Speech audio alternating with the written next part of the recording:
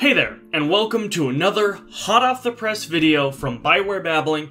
And just like we did with Blue Wraith when it came out, we're going to be covering the newest Dragon Age comic, Dark Fortress number 1, right as it's coming out. So, if you want to come with me on this journey as we cover the newest and greatest from BioWare and Dark Horse Comics, or just Want to find out more about your favorite Bioware books and comics? Please feel free to subscribe to the channel and don't be afraid to like the video if you enjoyed it, or, you know, comment your thoughts and opinions below. After that awkward as hell promo to myself is, you know, out of the way, we probably should provide some context and a recap for those who aren't completely sure what has happened before. So, this comic arc officially starts with Dragon Age Deception, though in my opinion the story starts all the way back from the events of Mage Killer, but eh, who cares about my opinion. Anywho, we start the story with Dragon Age Deception, where the group of Tessa, Marius, Vea, and Sir Aaron are in Ventus looking for the red lyrium weapon, and pick up a con artist named Calix and a mage named Francesca Invindis along the way.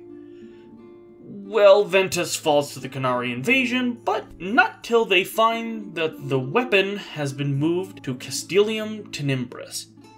The party then, for the events of Blue Wraith, head to mainland Tevinter to find the caravan is carrying a special sarcophagus and a very edgy elf named Fenris from Dragon Age 2. Well, he joins the party begrudgingly out of self-interest and for love of Autumn the Mumbari, after catching up to the caravan and in a dope fight scene, kills Francesca's father who was helping the Venatori willingly.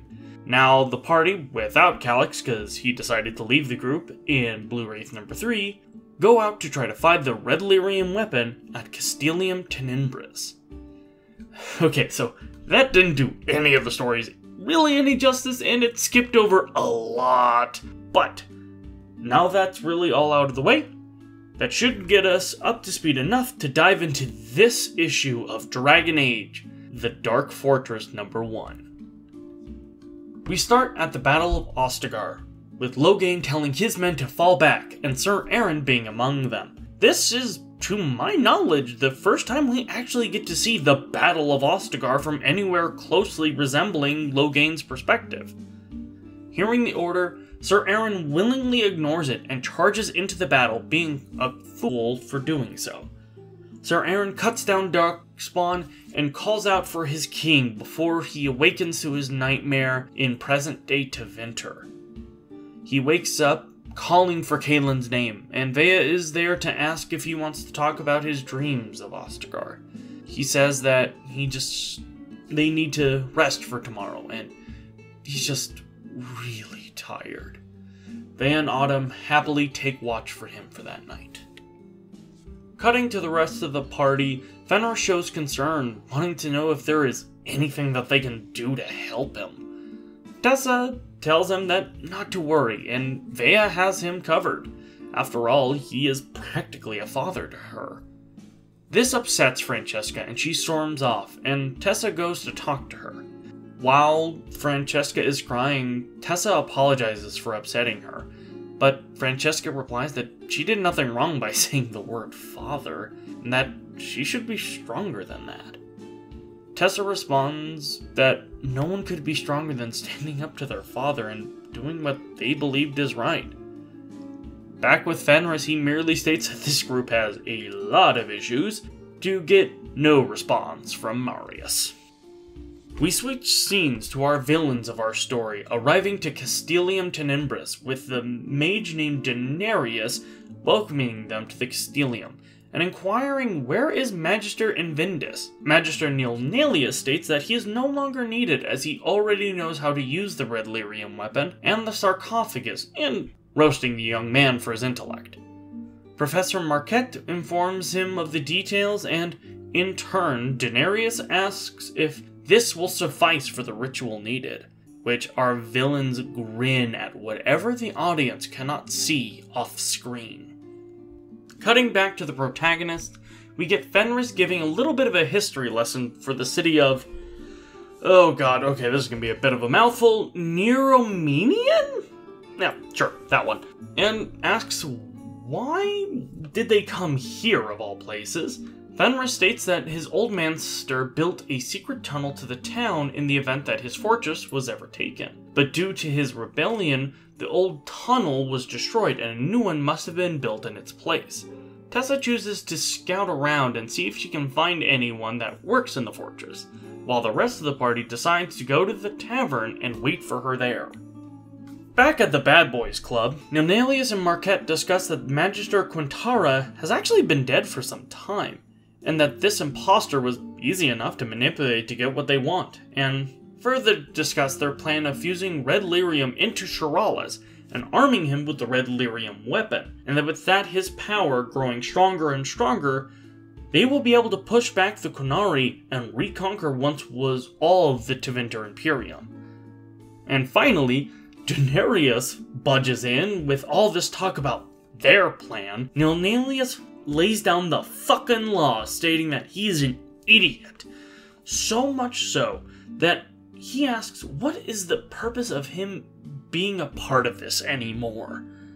While Denarius is able to state that he has the sarcophagus, he has the Castellum, and the magic to control both the castle and the mages here, Nilnalius easily thwarts these arguments as these were all given to him because Nilnalius convinced the Venatori to recognize him as the true heir of the House of Denarius, instead of just being the bastard that he is. And Nilnalius has a perepete. So, does he really think that he can win against that? Nilnalius asks again, What does Denarius bring to the table? Back with the party again, Sir Aaron is eyeing down his drink, while Francesca thinks Vea should talk to him. But Vea states that she can't put too much pressure on him, and that this needs to be his choice. But Vea does ask how she's doing, and Francesca is unsure, and wonders if Vea has ever killed anyone close to her before. Vea states that she's never even killed anybody, and asks if Marius, if killing ever does get easier, and he does state yes it does. Fenris chimes in, though, that making it easier can even make it worse. But what Sir Aaron is going through? It's a little bit more than that. It's just like what happened to Hawke when they lost their mother being haunted by failure. But Tessa arrives with good news. She found Denarius, now with rage in his eyes. Fenris states that Denarius and all of his heirs died by his hands. Terrified of Fenris now, Tessa states that this new Denarius is actually a bastard that was just recently recognized and moved into the Castellum recently. Currently, he is in a wealthy end of town getting hammered. While Fenris looks like he's about to go on the warpath to end the Denarius line a second time, Vea stops him, stating that this is the most likely person to know about a secret passageway into the Castellum, and Sir Aaron, standing tall and proud, backs her up on this.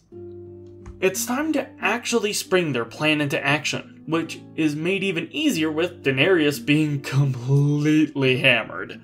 After being told that he has had way too much to drink, Denarius tells his two guards, who are actually Sir Aaron and Marius, disguised as his guards, to kill Nilnalius and his perepete if they ever come looking for him. Denarius makes his way to his room, where he is immediately ambushed by first Vea taking his staff, followed up by Fenris and Autumn jumping out of the closet. While he is unable to call his staff due to Vea holding onto it, he says he will be able to use his hands for this. But Fenris not only blocks his magic attacks with ease, but is so unfazed by these weak attacks, he merely walks through them and headbutts the mage. Fenris then pins Denarius to the ground and is an inch away from killing him, but Vea stays his hand. While this part of their plan is going well, another complication makes itself known. The Qunari have arrived. Tessa yells at them they need answers now, and Fenris gets to work immediately. He states that with him being able to rip out Denarius's humerus to get him to start talking, but Denarius doesn't control the Castellum and everything was taken away by Nilnalius. But does Fenris care about his squalors? No, not really. And after apologizing to Autumn for using an analogy, Fenris gets straight to the point. Where is the secret exit out of the Castellum, and where does it lead so they can enter it? His torture techniques do land him some answers, but they're not the ones he was hoping for. It turns out the entrance to the secret exit can only be opened from the inside, and they sure as hell aren't going to be able to survive crossing that bridge. Francesca sees the Qunari horse riders coming, and if earlier wasn't the time to leave, it really is now high time to leave it. She warns the others that the Qunari are here, and Denarius demands to be let go. After all, they don't have time to kill him. What he doesn't realize is that Fenris is more than willing to make up time to kill him, but a twisted turn of fate, he stays his hand before the rest of the party leave the wounded mage tied to a chair. Meanwhile, the Qunari are invading the rest of the town and slaughtering everyone they see. But a boy is saved by the Qunari commander who believes that he could be re-educated. The commander is then informed that they found a mage tied up and informed them that there is a secret dark castle that is about to perform a secret forbidden ritual tonight, and that that ritual could turn the tide of the war in Tevinter's favor. Knowing that the type of threat this could pose, the commander vows to take this secret castle and to make sure that this ritual does not occur. And that is our first issue of The Dark Fortress. It is an incredibly strong start to a series that I really do think needed a strong start. While I do think the artwork stole the show, I'm going to start off with the writing first. What really makes this issue good is it finally feels like we are having a cohesive team working together and finally moving towards the red lyrium weapon and the sarcophagus, which I've complained about in the past that they really didn't do in any of the previous series. Granted, I would have liked to have seen a little bit more progression moving forward, but that hopefully will be made up for in the fact that, well, the Qunari are now joining the fray. While I was a little shocked that again the Qunari show up at the party's doorstep. Again, I do feel like this is going to set up the fact that they are a much larger player in the events to come. One thing that is approved upon from Blue Wraith is the fact that the Qunari are actually depicted far better than in the last series. I complained in Blue Wraith that the Qunari weren't really depicted as well because they were shown to be more mindless than Darkspawn and just cannon fodder. Instead of being the true, intelligent adversary the Qunari can actually be. The Qunari are absolutely brutal and merciless.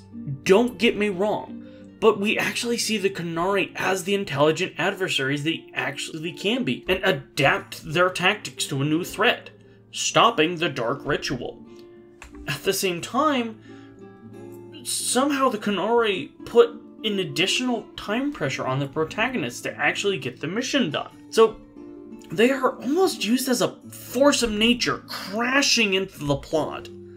This makes me wonder where the hell the rest of the Tevinter military is, since we only see mentions of them in Tevinter Nights, and that story mainly involved them getting murked by an elderly crow. Regardless, I'm hoping the next issue ramps up the pace and we actually get to see some real plot moving along, and hopefully some dope fight scenes along the way. I will also say that it was very nice that they didn't jump around in perspectives as much in this issue. That was a really big problem with Blue Wraith, to be honest with y'all. Now, the real wow factor of this comic is the artwork. Now, mind you, Fernando Furukawa is really well known for his bloody and action-packed panels, which don't get me wrong, we definitely get to see that. But what takes the cake was the artistic depictions of the characters.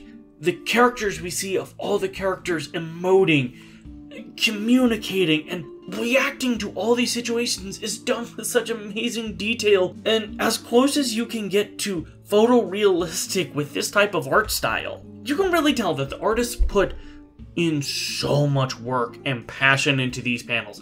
Not to say that they didn't do that in their other bits of work, but to be honest, this is magnum opus levels of work. To Fernando Furukawa, Sebastian Hines, Rico Zucchi, Michael Atiyeh, and Sachin Teng, This is truly magnificent work. And from the bottom of my heart, I applaud you for making this amazing artwork for us and giving it to the Dragon Age community. So, thank you. Now, I'm gonna call it here. If you guys want to follow my journey of covering the Dark Fortress comics, please subscribe to the channel and for God's sake, like the video at least to show the drawing team that you loved their artwork as much as I did. Now with that, I bid you adieu, and I will see you for Dark Fortress number 2. Or, I'll see you guys next time, you nerds!